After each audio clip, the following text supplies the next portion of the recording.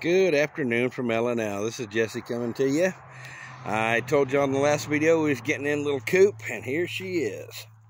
All the way from Minneapolis, Minnesota. Someone put a lot of love into this little jewel before they tore it all to heck. Obviously, ditches do not favor old cars or any cars, and I drive tow truck. Hence the reason I always tell y'all to keep it between the ditches. You could have on a beautiful car like this, one wrong turn, you could be in a ditch with a lot of damage.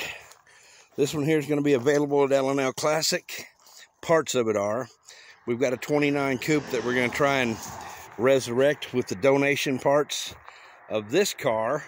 And we're going to keep the 30 model coupe together. And uh, once I figure out which one I like better, we'll see which one I want to get rid of. In the meantime, Come on out here to L&L if you're in the area. Central Idaho, 8 to 5 Monday through Friday. Saturday from 8 till noon. And maybe there'll be something out here that uh, trick y'all's trigger. Give it a little love. Obviously, I'm having a coupe fetish thing going on. I'm thinking about seeking help, but I'm not sure exactly where to get the support group for this problem. Anyways, as always, be safe, God bless, and keep it between the ditches.